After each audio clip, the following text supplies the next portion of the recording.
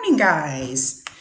We're going to do a little science lesson. This is a follow up to our chocolate coin experiment. Uh, experiment.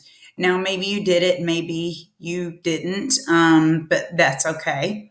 Um, for those of you who tried it out, we will do this recipe review today. Okay, so our recipe, if you remember, we made chocolate coins. So I'll just put chocolate coins.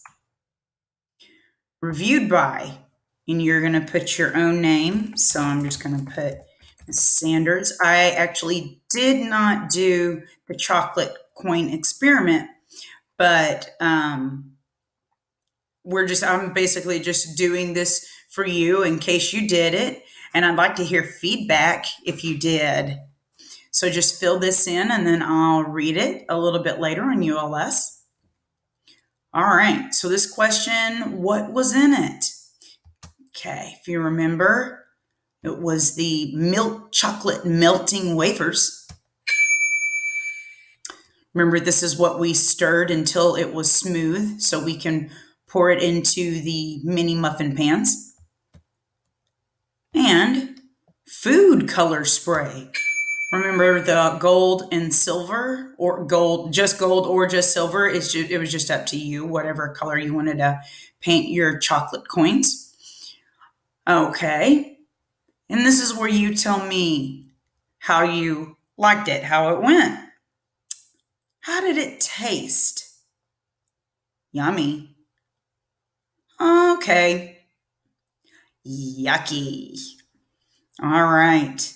So we'll just go with Yummy. yummy for now. I hope that y'all enjoyed uh, making it as much as y'all did tasting it. How was it to make? Easy. Okay. Hard. Maybe something went wrong. Maybe your chocolate coin stuck to the pan and was hard to dump out. And whenever you try to get it out with a fork, maybe the, some of the coins crumbled. But hopefully, everything went perfectly and you'll put Easy. easy. But yeah, just tell me was it hard? Was it easy? Was it mm, okay? But yeah, like I said, I hope it went well. Was it healthy? Yes. Okay. Or no. Well, we're going to have to go with no No. because uh, chocolate is kind of high in saturated fat and sugar. So it's not real good for you. And it's low in fiber, and that's something our body needs. It's low in vitamins and minerals. So it really has no nutritional value.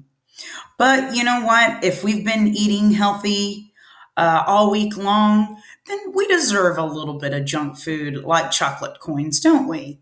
Just something to, to treat ourselves. Um, I don't think three or four would hurt, you know, just as long as it's not an everyday thing. Just share this with your family one night, maybe a Saturday night while you're watching movies. So yeah, just please tell me about your experience. Uh, your experience if you did this experiment. All right, guys. I will see you at noon.